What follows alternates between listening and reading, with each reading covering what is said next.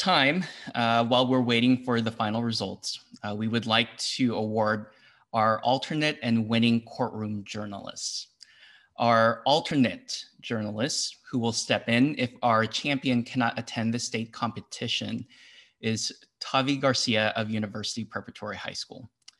Tavi, if you're here, your finalist gavel will be mailed to your school.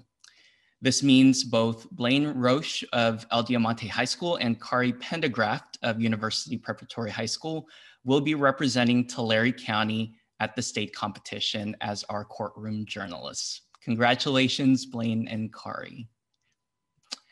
We can now also announce the alternate and winning artist. Our alternate artist who will step in if one of our champions cannot attend state is Riley Correa of University Preparatory High School. Riley, if you're here, your finalist gavel will be mailed to your school. This means our two champion artists representing us at state are Kobe Lawenko of El Diamante High School and Alicia Escobar of Tulare Western High School. Congratulations, Kobe and Alicia. Okay, I know you are all feeling so much anticipation, so thank you for your patience. Um, I want to echo Judge Matthias's earlier comment just about how proud all of you should be.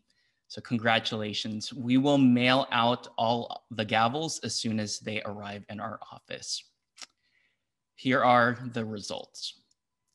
In second place with 488 points and 49.6945% of the total score is Redwood High School in first place with 494 points and 50.3055% of the total score is University Preparatory High School.